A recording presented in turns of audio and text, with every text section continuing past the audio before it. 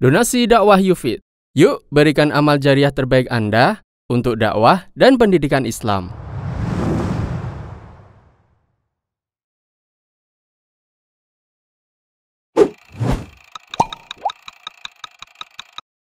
Wasatru auratihim dan menutupi aib-aib mereka. Ini termasuk nasihat li li'amatil muslimin yaitu kita menutupi aib mereka, tidak membongkar dan membicarakan kejelekan-kejelekan kaum muslimin.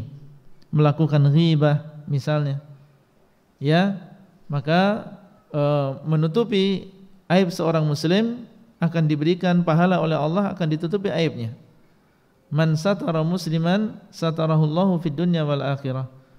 Barang siapa yang menutup aib kekurangan seorang muslim maka akan ditutupi aibnya di dunia maupun di akhirat ya tapi orang yang mengorek-ngorek kesalahan orang lain maka akan dibuka aibnya di dunia. Dan akan dibuka aibnya di akhirat.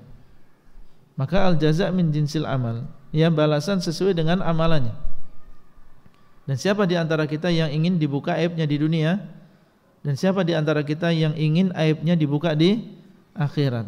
Di padang mahsyar ya di ya di tengah-tengah manusia. Kita tidak ingin aib kita dibongkar oleh Allah. Kita ingin ditutupi. Sesuai dengan usaha kita menutupi aib orang lain maka Allah akan menutupi aib kita. Ya maka hati-hati jangan sampai seseorang membuka aib orang lain dan aurat orang lain.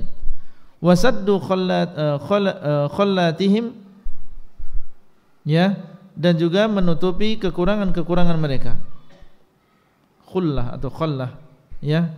Artinya e, menutupi kekurangan mereka. Jadi berusaha bukan membongkar aib mereka tapi berusaha untuk ya menutupi kekurangan yang mereka miliki